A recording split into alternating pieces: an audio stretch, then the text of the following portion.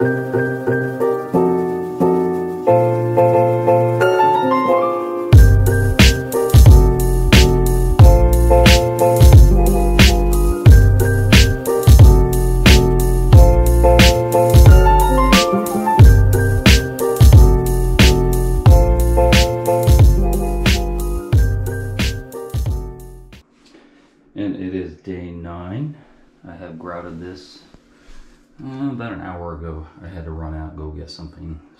I let the fan run on it because I want the grout to dry up really, really well. And then I'm going to cover it with some sheetrock so I can step on it. See that? How the taper, taper of the drain works out. I just think that's so much cleaner and nicer look. And I know a lot of guys out there won't take the time to do those individual tile. They might cut them in a circular fashion, but they won't taper them. It takes a little more time and patience, but I think it's a cleaner look. I think it's a better, it's, it's, um, how would I put it? It's functional, right? It does something besides nice look. Anyway, this is the glass tile. It's going to be staggered five pieces going up that center line I marked yesterday, wrapping around the valve and wrapping around there. I'm put some RedGard on there. Sand that down, put some RedGard on there. Um, so yeah, I'm gonna get started on that. There's gonna be pencil pieces on the outside, so I gotta set those, and all the tile are gonna, tile are gonna go up to it, which means this has to be worked out first. Then I'm gonna work on the niche. Um, windowsill design with these, what I call curb top pieces. They're six inches wide. I'll probably shave it down. Uh, I think that's three, either three or three and a half. I'll cut that down to about four. I'll rip it to four, and then I'll do a little windowsill cutout thing. Um, yeah. Then the glass tile. Do I have it? Yeah. This glass tile, which is really cool, is going to go on the inside of the niche. And so I will take um, two and a half pieces and put that in there as well. And then um, get some field tile to put on the inside. And all my tile will wrap around also that. So little intricate details I have to take care of first. Um, once I get started on the walls, it'll be pretty, you know, quick, easy peasy stacking brick, stacking brick. But yeah, I won't get to that until probably well, it's a weekend, so probably by Monday I'll be able to run all that tile up. So yeah, coming along pretty good.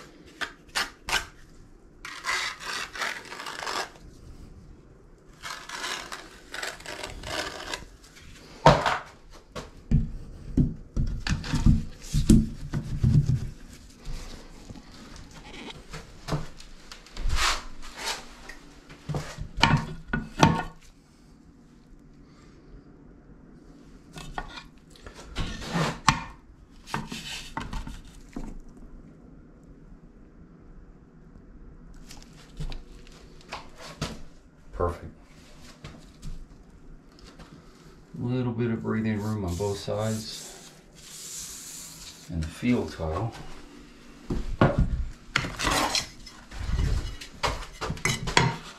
Bump right up against it, go around it, go up under it, go on the side of it. In fact, look at this, little perfect.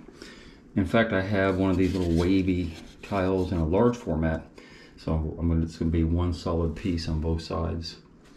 And then two solid pieces with a grout line in the middle, which is perfect. But gotta get to this first.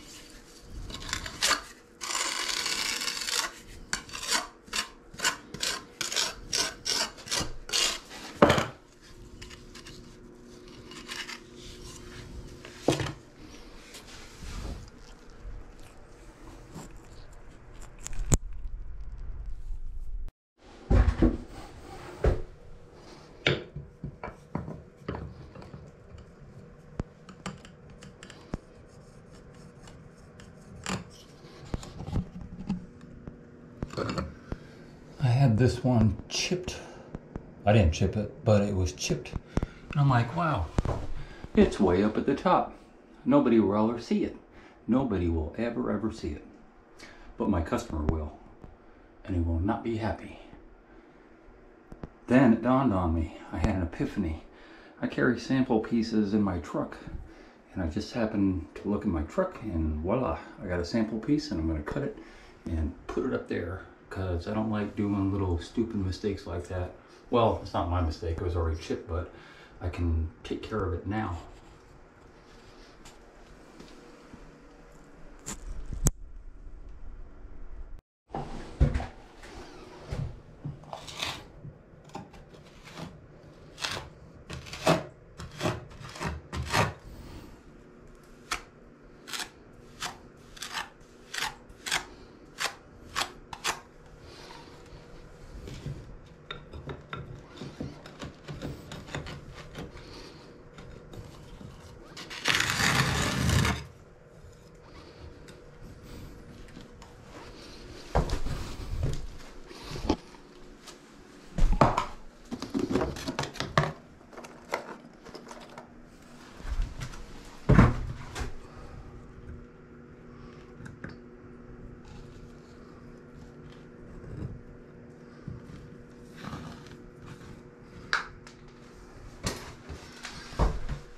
Yay. So, yeah. Um, I haven't really shown a lot of my work on this uh, little, whatever you call it, blog. how to renovate a bathroom, how to build a shower. There's so, so many details. I actually have a video of a full bathroom build. Um, I'll link it up there, right up there, so you can go watch that if you want to. Um, but they're very, very difficult to put together, and all the different cards and batteries you need to film, and yada yada yada. So I don't really show a whole lot, but it is done. There's a piece of cardboard at the bottom. That is my spacer. So that gives me about an eighth of an inch space at the bottom, and then the next day I can just slide it right from under it. The niche is done. They picked this glass, which is really cool. And I should have shaved off the bottom as I did on the sides, although you can't see it now because of the tile. But yeah, um, once it gets grouted, all that will fill in perfectly. So that's about it.